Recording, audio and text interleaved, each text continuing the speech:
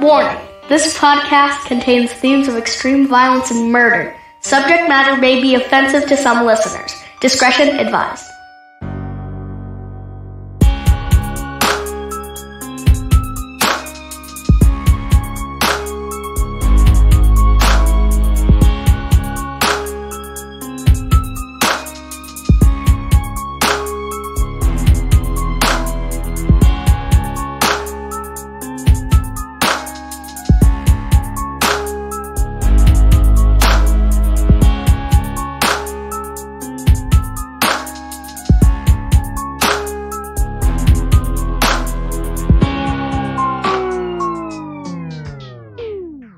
Welcome to another episode of Evil Transgression, your homicide headquarters here in podcasting.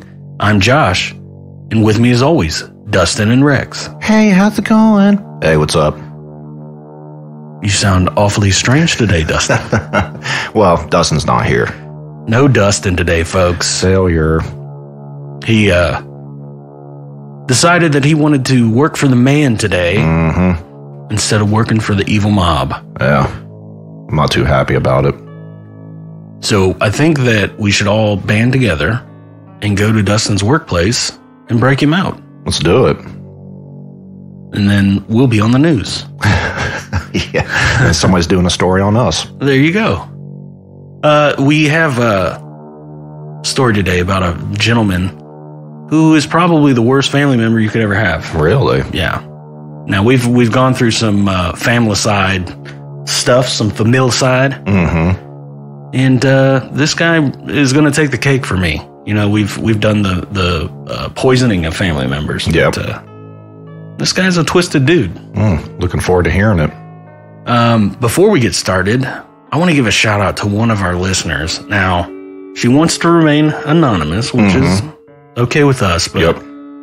left us an extremely generous tip in the Oh, tip yeah. jar. Very on- nice. yeah, on our uh, Evil Transgression page, uh, theeviltransgression.com. If you have not been there, please check out our website. Yep. Uh, but yeah, left a uh, an extremely generous tip. Mm-hmm. Yeah. Thank you very much. Absolutely.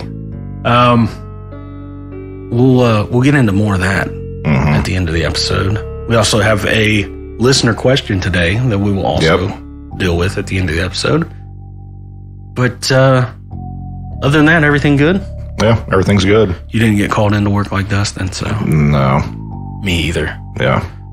I always make time for this. Yeah, I'm not a a, a sissy like Dustin. Yeah, me neither. Just can't wait for him to hear this episode. Mhm. And then he's I'm looking call forward to both. it. Call, right. He'll call us both and complain. You guys can't put that out there. That's mean. That's so cruel. You're still making fun of me, and I'm not even there. no, we do miss Dustin. We wish he was here. Yeah, a little bit. So before we get a little uh, too far in depth on this one, I will uh, give you the warning that there is some violence towards children. So you have been warned. But uh, if that's not your thing, skip this episode and catch back up next week. Yep. So buckle up, Evil Mob, as we discuss James Urban Ruppert. James Urban Ruppert was born April 12, 1934, to Leonard and Charity Ruppert in Hamilton, Ohio. Hamilton, Ohio is about 20 miles north of Cincinnati. Oh, okay. James Ruppert had a troubled childhood, which included a mother who was a real piece of work. She uh, constantly reminded him that she didn't want him and occasionally told him she would rather have had a daughter than him. Wow. That's real loving. Yeah. His father wasn't any better because he uh, also had an awful temper and showed no affection towards James or his older brother. In 1947, James's father would pass away, leaving the father role up to Leonard Jr., who was James's older brother, which wasn't any better for James. Leonard would constantly pick on James and would treat him so bad that James would eventually run away and try to commit suicide by hanging himself. Mm.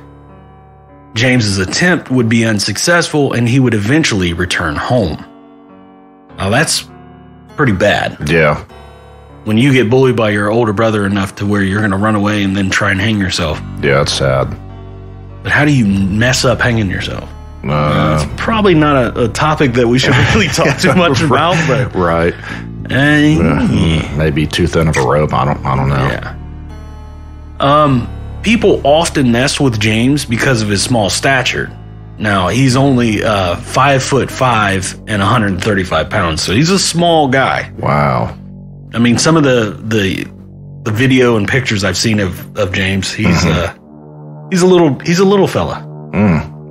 I'm like twice his size. James uh, was also known to be a very helpful and quiet man. So I mean, he's a he's a good guy Yeah. so far. I mean, from what we know, leading up to this point, which is uh, saying a lot from a kid that's been told by his parents that they didn't want him and they Mhm. wish he was a daughter and And his older brother, and his older brother's a douchebag, and for him to be a, a decent guy is a that's a pretty good thing. oh yeah, it is. Pretty surprising. In 1974, James dropped out of college and began training to be a draftsman. James is said to have been very jealous of his older brother Leonard because, unlike James, Leonard had a very successful job as an electrical engineer. Now, that's a that's a a, a, a pretty good job Oh yeah, it is. electrical engineer, but I mean, a draftsman, if he if he uh, excels in that, that's not a Oh terrible yeah, job. no, not at all. But uh, the biggest kick in the sack here is Leonard would also go on to marry James's ex girlfriend and have eight children with her. Oh wow, This brother really is a piece of screwing work, him every know? chance he gets. Yeah. Like that's that's movie material. Oh yeah, like, it is. like the guy that gets picked on all the time. His brother Uh, hooks up with his ex girlfriend and has eight babies I with mean, her. yeah. Could you just imagine a, a family function and you got to see your ex loving on your older brother who hates you? That's bad. That's a that's a rough way to go there. Mm-hmm. So not only did James lose his girlfriend to his own brother, his mother was getting tired of him because he couldn't keep a job and he spent all of his time drinking and using money he borrowed from his mother and brother to buy stocks. Until the stock market crashed and James lost everything. So I mean it wasn't like the the stock market crash of 1929. Right. He lost uh he lost pretty much everything he had in the stocks Mm, that during that time. In February of 1975, James would inquire about a silencer and would begin to stock up on ammunition. So there's your first red flag. Mm-hmm. Yep. Things are turning. Yeah. Now in 75, I don't know how um, you would go about buying a silencer for a firearm, but Mm, he's he's uh he's looking for one. right. Sure, he wasn't like on eBay. long, long before the eBay days, you know. On March 29th, 1975, James was seen on the Great Miami River shooting tin cans with his 357 Magnum. Later that night, James would go to the 19th hole cocktail lounge where he went pretty much every night. That's his that's his uh his go-to Oh, okay. night drinking. Is that like on a golf course? You would think. Because I've I've seen that before. That name at a golf course. Once there, James would begin talking to Wanda Bishop, an employee of the bar, and he would tell Wanda that his mother was complaining about him, about his drinking and not paying rent, and you know all the complaining his mom's doing. So, you know, he's he's telling this lady how crappy his life is. Yeah. And then as he's leaving the bar, he tells Wanda that he needs to solve the problem. Mm. Another uh, red There- flag. yeah. That's your huge red flag Yeah, there. big a- time. somebody standing there waving it on top of a, a mountain, like, hey, look here. Uh huh. James returned to the bar around 11 p.m. that night and began talking to Wanda again. Wanda would ask James if he solved his problem yet, and James would reply, not yet. Wanda, what are you thinking? Right. Hey, uh, you was sitting in here complaining about your mom. Did you solve your problem yet? You're the worst bartender ever, Wanda. You're supposed to help him through his problems, not get him to commit crimes. right. So, uh, James would stay at the bar and continue drinking until 2:30 in the morning when the bar closed for the night. So he, uh, I could see why mom would complain a little bit about his drinking problem, but Oh yeah. she also was probably the reason he has a He drinking started. problem. Yep. Exactly. Between her and Leonard, uh, that's why James is probably as messed up as he is. Yep. Uh, on Easter Sunday, March 30th, 1975, James' older brother Leonard and his wife Alma and the couple's eight children would come to Charity's house for Easter dinner and an Easter egg hunt for the kids.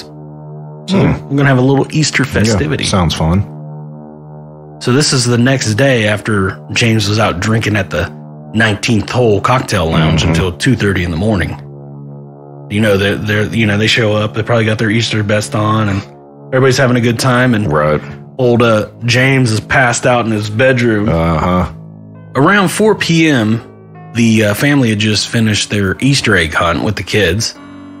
Uh, old Uncle James is still asleep in his bedroom, but uh, this is where he starts to finally wake up from the, the hard night before. Mm-hmm. He gets out of bed and loads his 357 Magnum and two 22 caliber handguns. Mm. This is not going to be good.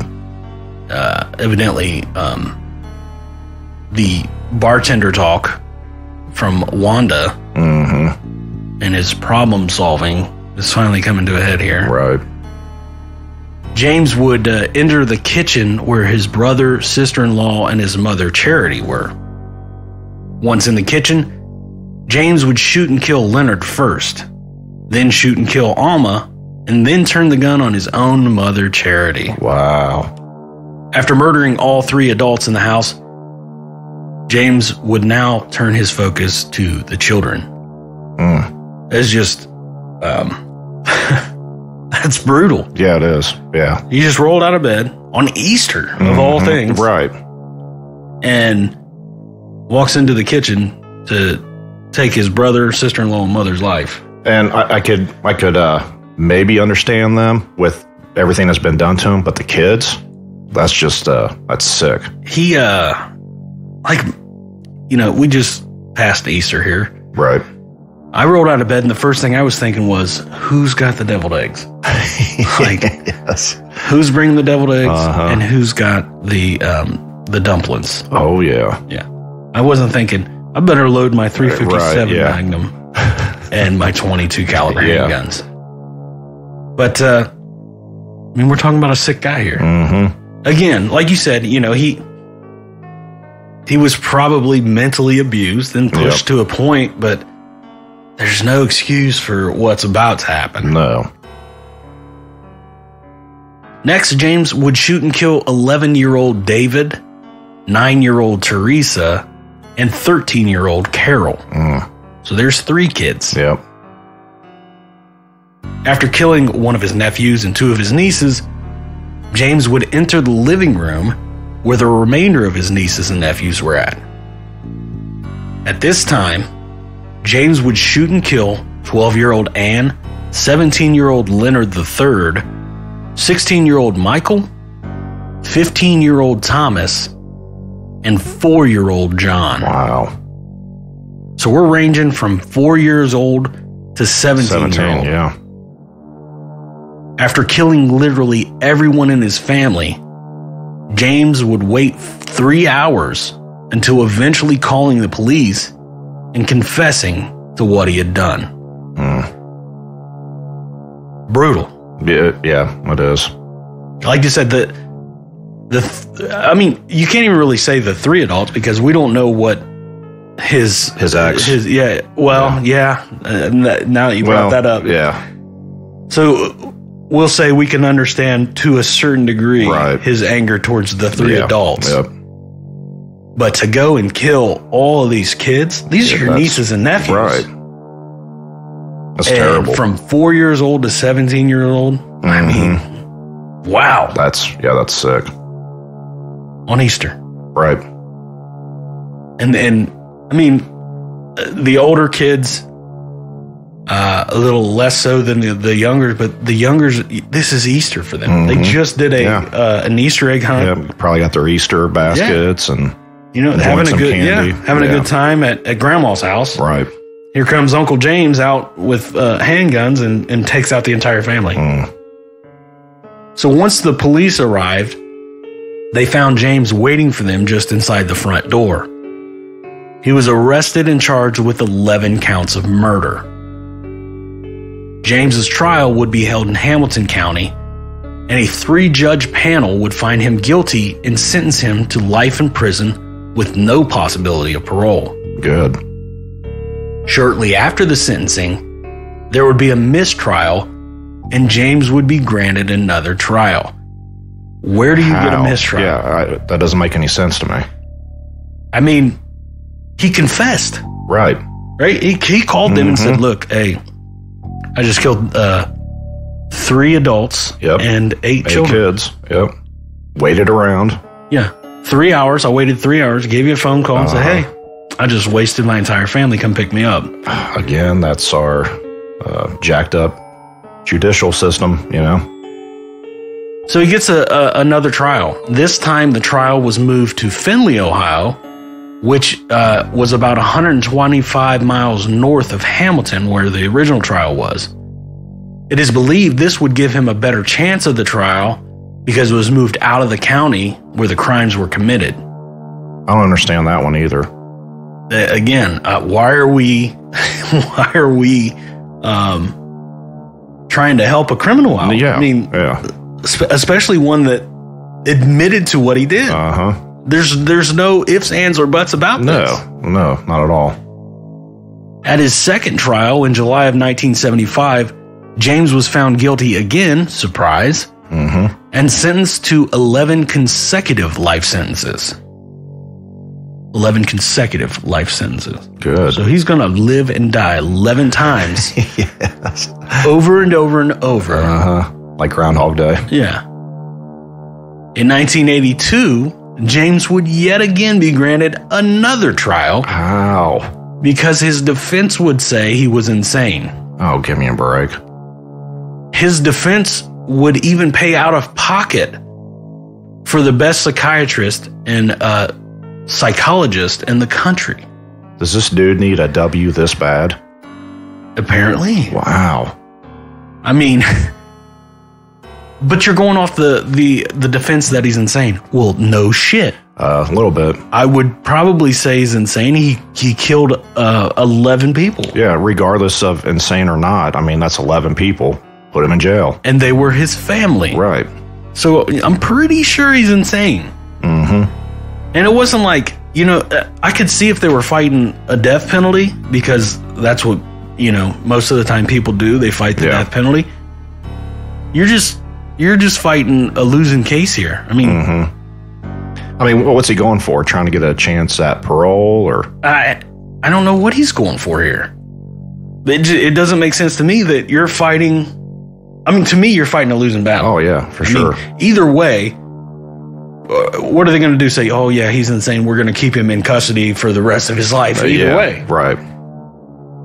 On July 23rd, 1982, another three judge panel found him guilty, surprise, of the Mhm. murders of his mother and brother and found him not guilty of the other nine murders by reason of insanity. Uh, How does that happen? that makes no sense at all.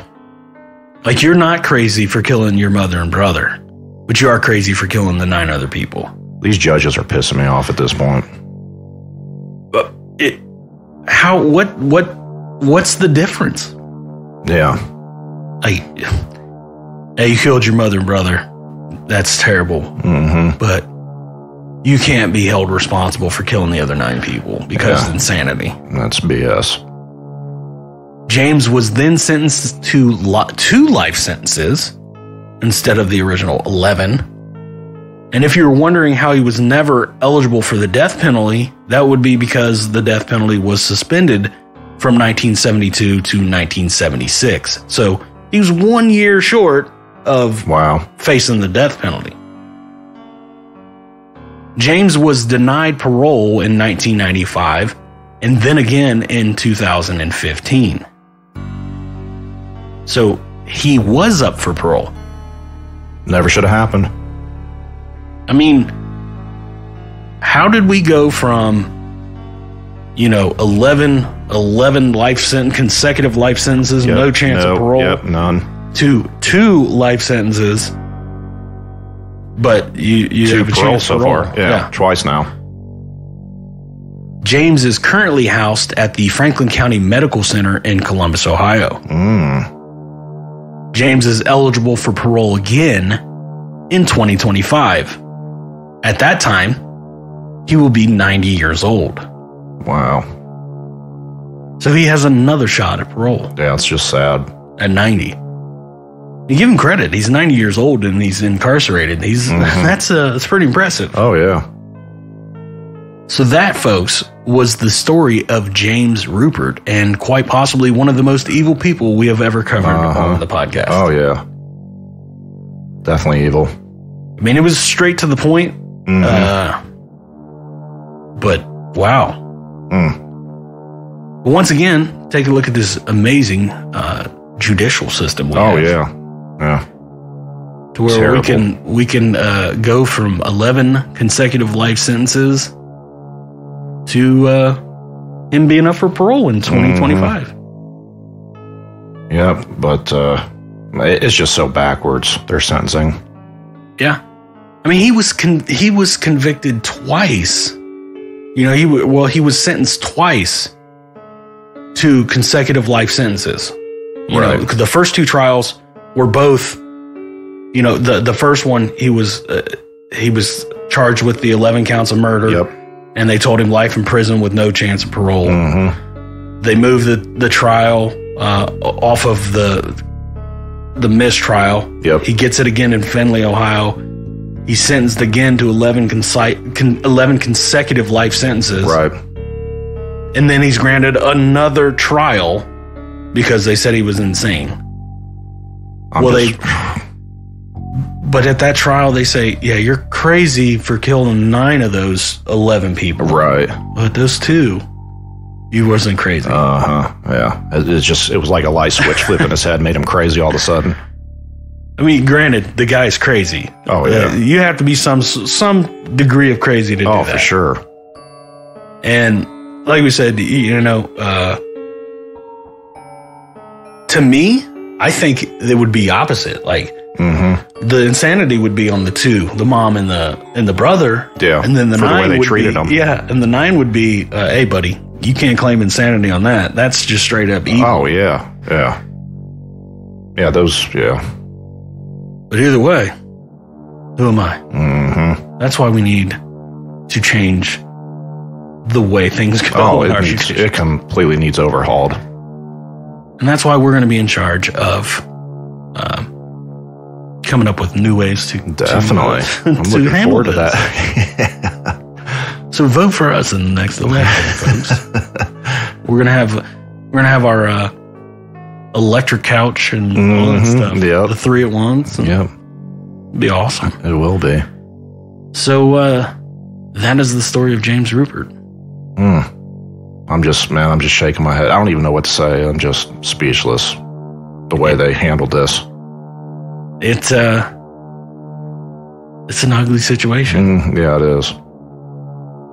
And who, who's the guy that like just three hours later is gonna call the cops like, hey, Yeah.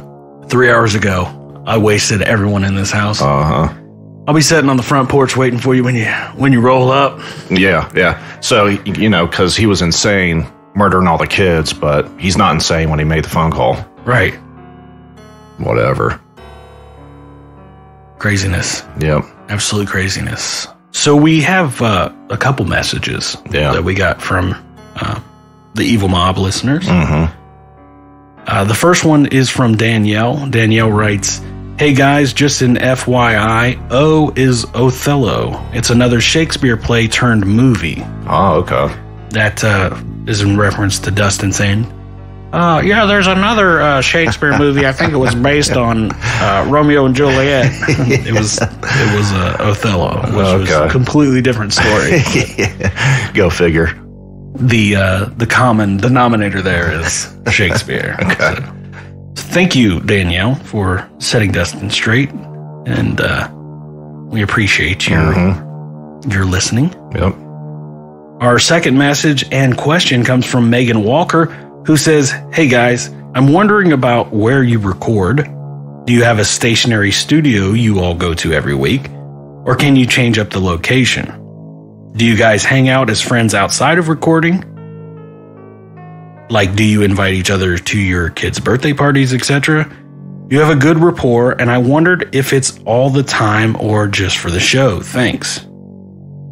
Well, Megan, we actually do not like each other a single bit outside Yeah, of the it's show. all for show. No, we uh, we record every week in the same spot. Um, we are in the process of having our quote unquote studio built. Mm-hmm. Yep. Uh, we have a a room set up as a studio right now, um, but we're eventually going to be moving to this sweet little studio mm-hmm. that is being built. Yep. Um, we have changed locations um, from when we originally started. Like like we've said before, we even did an episode in uh, Dustin's basement with, On his yeah, couch with uh with Barbie cars holding, Yeah. holding up the microphones. But yeah. we're we've moved past that. Now we have cool microphone stands and all that stuff. Yeah, and I mean it, it's big equipment. There's really no way to to transport it to Yeah. various locations. What we're using now, we're not going to pack up and move. No. So My uh, PC tower alone is a beast. So Now, uh, as far as us hanging out outside of recording, uh, when we get time, we do. Mm-hmm. Um, it's been rough lately. We're like we're, we're adulting you now. Oh, yeah. all adults. I mean, back in the day, it was it was almost every night. Yeah, for Uh, sure. Josh and I would hang out. Uh, there is the birthday party though, I believe, next month, right? there is Yep. So I'll be there.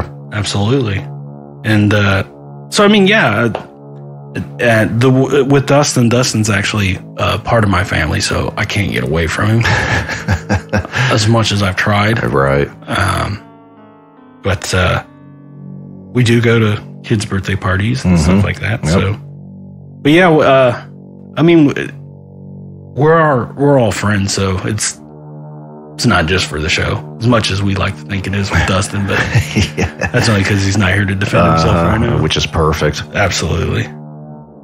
But uh, thank you for the question, Megan. And uh, if anybody else in the Evil Mob has a question, go to eviltransgression.com, scroll down the page, and you will see where you can submit a question or submit a message to us. So, Mm-hmm. Yep. and nice and easy. Uh, uh, we'll reply to it on on the next episode. yep.